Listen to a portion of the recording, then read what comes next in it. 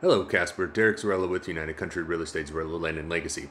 Um, I know like we're a, a, couple of weeks into 2024, but I wanted to share uh, my opinion, 10 actually, opinions of you know how what we're going to see in 2024 in the real estate market. Um, so number one, I know there was a, a, lot of talk about a housing bubble crash and or a housing bubble burst, and um, you know all hell was going to break loose in 2024.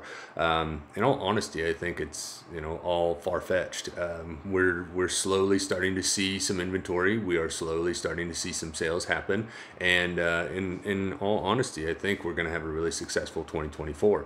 Um, I don't think we're going to be anywhere near uh, the 2008 2009 crash. Um, we are starting to see some foreclosures happen, but we're getting back to normal pan, uh, pre pandemic uh, levels. So um, there are a couple of things that we should be watching, and that's up next.